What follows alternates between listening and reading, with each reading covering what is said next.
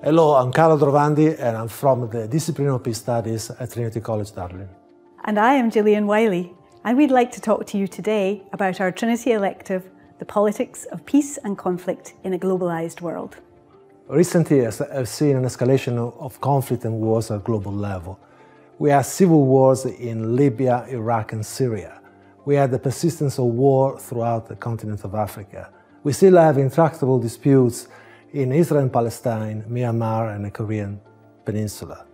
And some argue that Brexit might bring back the trouble to Northern Ireland. Today, the issue of war and peace strongly related in impact on several dynamics and forces. War and peace are related to social inequalities and economical disadvantages, on failed states, on ethnic strife, on religious identity and belonging. Today we have a strong correlation between conflict and new security threats like climate change. Understanding the complex and evolving nature of war and peace is one of the great challenges of our age. Peace Studies aims to understand the origins of wars and violent conflicts and the possibilities for conflict resolution and transformation, or even the possibility of creating long-term sustainable peace.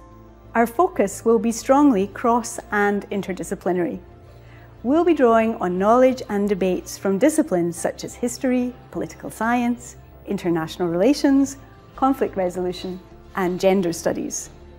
From there, we'll facilitate stimulating discussions between theory and reality, grounded in concrete case studies.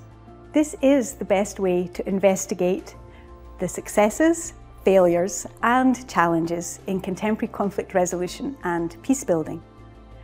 Our module is also unique because it will draw on the real-world life experiences of diplomats, government actors, NGO representatives and civil society organisations.